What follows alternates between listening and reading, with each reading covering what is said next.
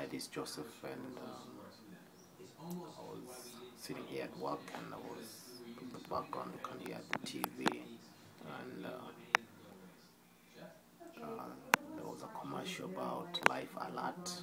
It's a button that you're supposed to wear it around either your wrist or have it as a pendant around your neck, and they were talking about um,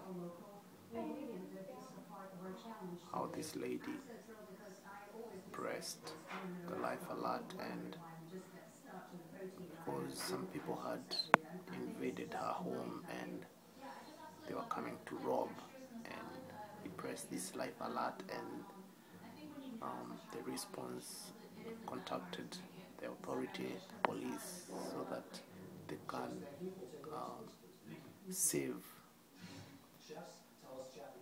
um, so looking at uh, this kind of stuff that is advertised on the TV um, with an equal money systems, um, the life alert will be used for something different, not for somebody robbing your home because everybody will have enough money, so nobody will be interested in trying to get some money or some property from you to go and sell so they can have money too.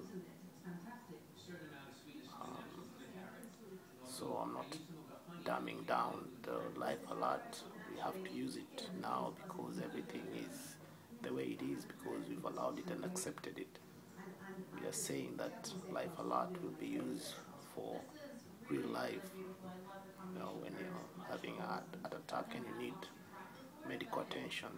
not anything to do with taking of your properties or taking something away from you. So support equal money systems or to have a dignified life. No more life alert for robbery or somebody wants to come and mug you, take your stuff. It's money, it's paper. So give everybody equally